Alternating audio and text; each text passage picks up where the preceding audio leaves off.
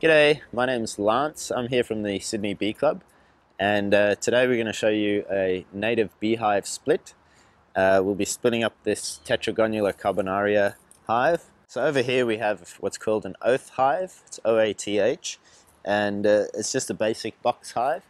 And the reason we do that is so that we can split and make two hives out of it. So uh, I'll just show you some of the tools that we have, uh, what we need for the split.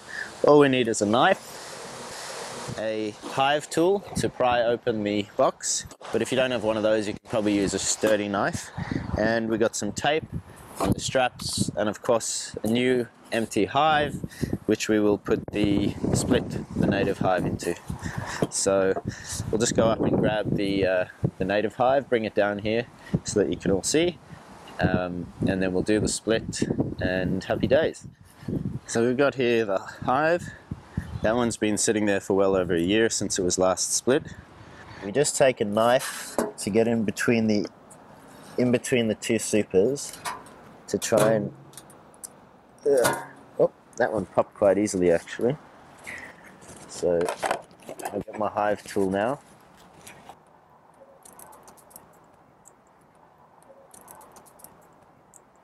Okay. So there we have it so that's all the brood, that's all the babies are inside there.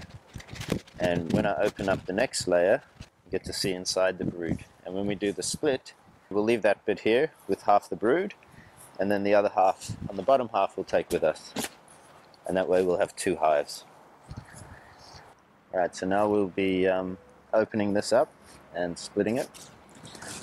Splitting up the brood chamber that is. So first thing to do is very gently separate that top box. So there's our brood. Now we want at least sort of three or four layers in the top and three or four in the bottom. So by looking in there I can see there's a couple of bigger cells. And they, they could be the queen cells. And then in here we've got enough layers it looks like. So that's the inside, that's the brood chamber. And some of those larger cells just on the edges, those I think would be the queen cells. What I'll do is I'll take the top half there, that gets placed onto the brood box. If this was full of these little pockets. They're called honey pots, these little round uh, bags. That's where they store their honey. If that, if that was full in that area, I would say we could harvest but or rob, but uh, I think it's best if we just leave it for them. So now we put it all back together.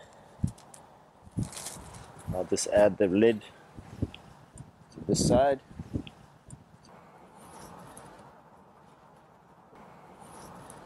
Now to place this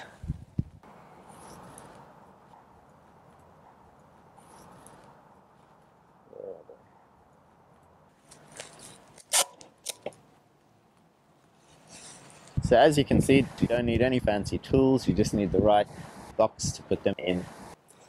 There's other methods of splitting known as a soft split. What we did today is known as a hard split. So as you can see, very easy and I hope you feel better about keeping some native bees and uh, increasing our biodiversity in Australia.